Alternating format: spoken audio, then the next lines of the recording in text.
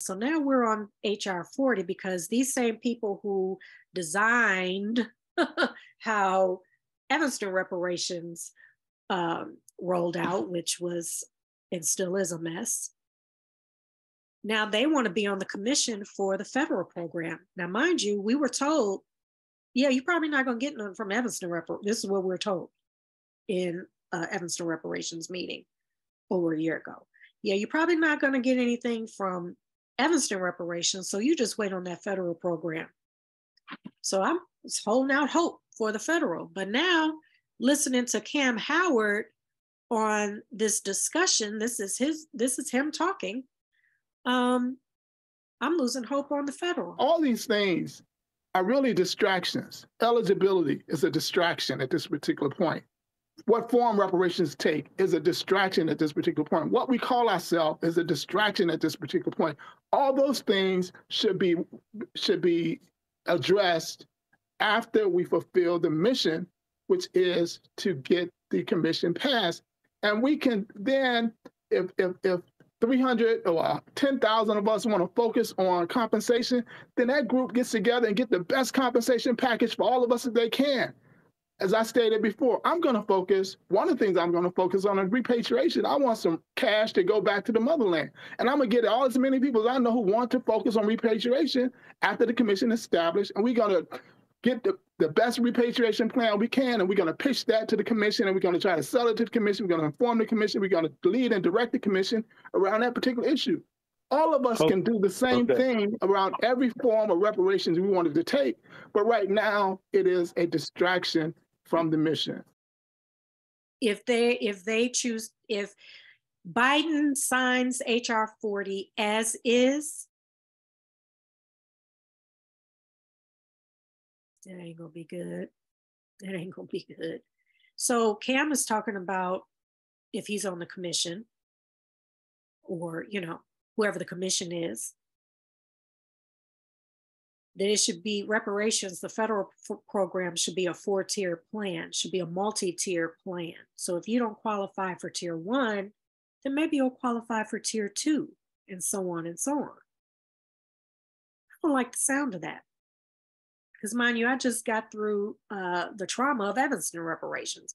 You don't qualify, you don't get nothing. Yeah, I know your family went through some shit, but So the four or multi-tier plan is still going to be based on what who they feel is deserving to receive reparations.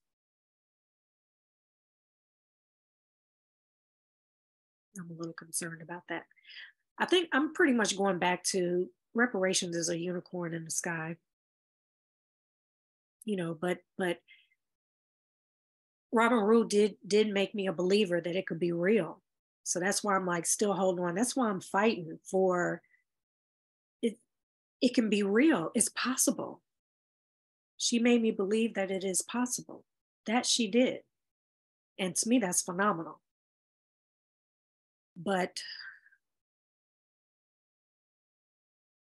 the way Kamm was talking in this discussion, and you all please go listen to it yourself. Don't just take my word. You listen to it for yourself. You don't know who he who he sees as African American or Black American. It's really unclear. And when these Black people from all over the country were asking valid questions to get clarity on who do you consider an African American? Who do you consider a Black American? Who do you consider descendants of slavery? He is like a double talk. So you don't know if you're going to qualify or not based on their principles. And HR 40 is really just the study. It's a commission to study and get paid a lot of money. There's no commitment to any real reparations in HR 40. So I don't even know why people are like all hyped up on it. When you read it, please go and read it. Because it's not what you think. Because initially I thought, I was like, okay, well, I guess I just have to wait for HR 40 then.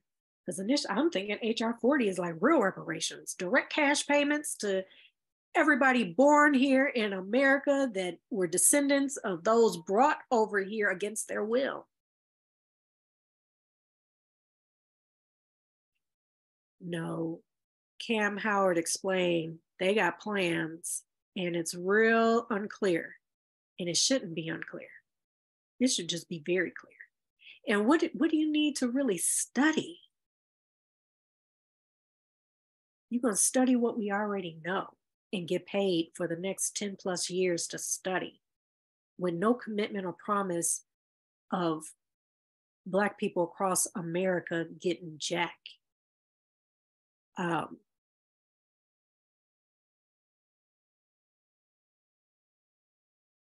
I am concerned. And and I don't know, I don't think I'm gonna hold out as I was instructed to for the federal program. I mean, it'd be great if if it does work out to be real reparations. But you know, I'm not I'm just not getting that vibe, especially if certain people are appointed to that commission. If some other people are appointed to the commission and they change the language in HR 40, then I might have hope again.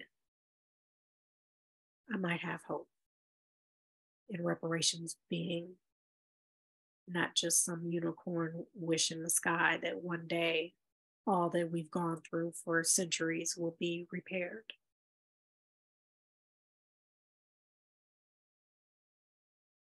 but there was a lot he said in that discussion, and uh, it got me very, very concerned. And so people really need to listen to that discussion, listen to the words coming out of his mouth, um, listen to the questions, very valid questions that were being asked.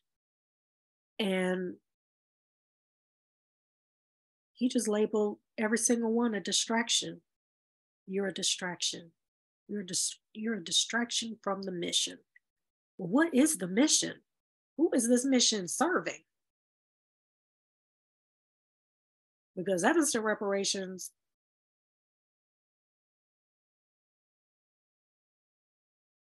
somebody got their garage door painted. But somebody else, some contractors and some lenders and maybe some other people, they got paid.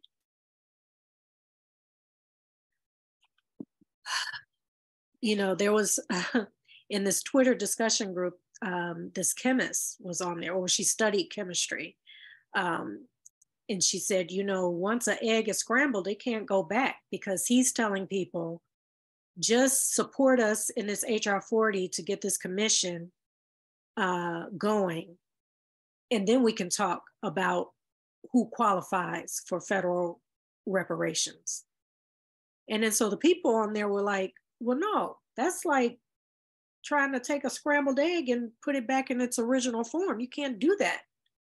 We need to talk about it now. If you don't know who the federal reparations program is for, then what's going on? Then what what are we doing? No, we need to determine wh- what's going on. We need to determine details like what is the mission exactly. It can't be cloudy and unclear like Evanston reparations was, and because it turned into a mess. And all he kept saying was, You're a distraction, just like we were told here in Evanston. You're a distraction. Don't ask those questions. Just go ahead and pass it. Go ahead, support us. Pass it.